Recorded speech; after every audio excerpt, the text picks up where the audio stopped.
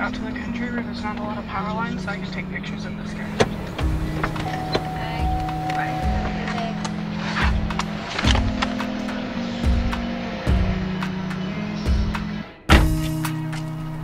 So, a little bit about me is that I obviously really like the auto shop, and when I'm at home, I just kind of like to do my own thing and do normal, like, high school kid stuff.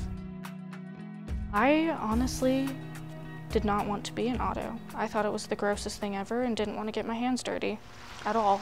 It's just I had no other classes, and my counselor said that the small gas engines was the only class I could take, so I was forced into it and just ended up liking it. Yeah, that's what we really love.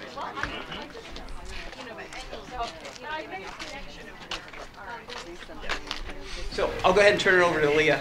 Hi, I'm Leyah Crumbo. Nice to meet you. My freshman year, I really hated coming to school, so I just didn't really come to school very often, but somehow I still passed with good grades. I don't know.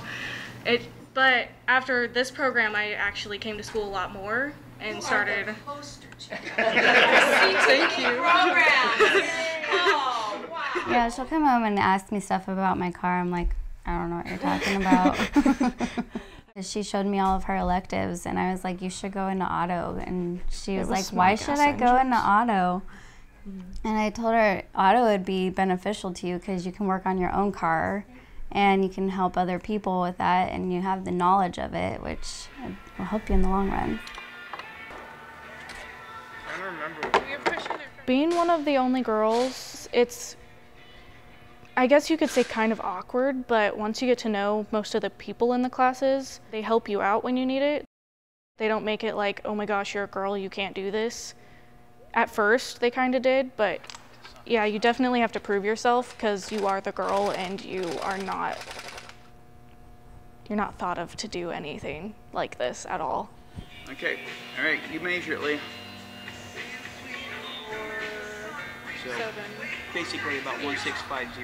Okay, that's gonna work. And it's got to be in there. I think it's very important for girls to get out there and do what the men can do because we're perfectly capable.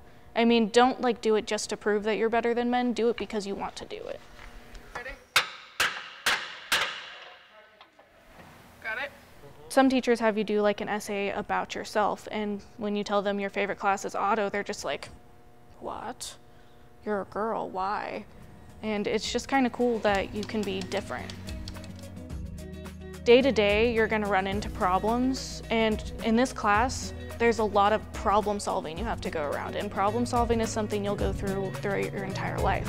And it's something important that I think every teacher needs to teach you. There's no excuse why you won't take a class like this because really it could be your backup plan and you could find yourself enjoying it. You just don't know unless you try.